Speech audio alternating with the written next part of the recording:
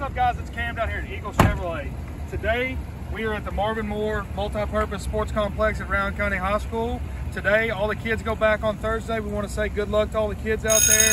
Hopefully this year goes better than last year. Now today we're going to look at this 2019 Chevrolet High Country.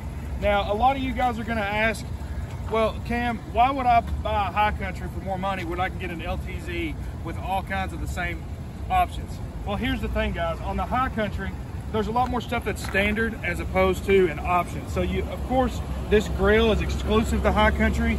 The skid plate underneath, for an LTZ, you would have to go up to an LTZ Z71 to get the skid plate and get that off-road suspension that comes standard on the High Country. You can't get the High Country badges, that's a significant look. You also can't get the two-tone interior that you can get in this. This one just has the jet black, of course. You can also get a lot of the other options that's on this. We'll take a look at a little bit more of the inside here in just a second. You can't get these wheels on anything but a high country. It's also an option for 120 volt outlet, bed liner, high country badge up in the bed liner, and the auto race tailgate. That's also an option on LTZ. That's standard on a high country let's take a look at a few things on the inside and I'll show you the exclusivity of the stuff on the inside.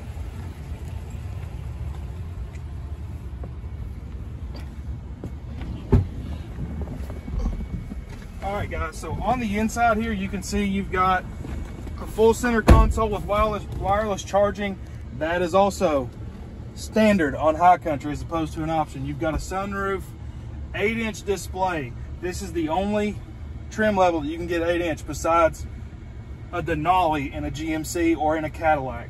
You cannot get 8 inch in anything but a high country. You've also got a flip mirror that's standard on high country, heated cooled seats, heated steering wheel, heads up display. This puppy's loaded.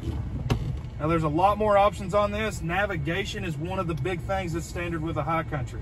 You don't have to worry about purchasing navigation or plugging up your phone for nav. It's already built into the truck.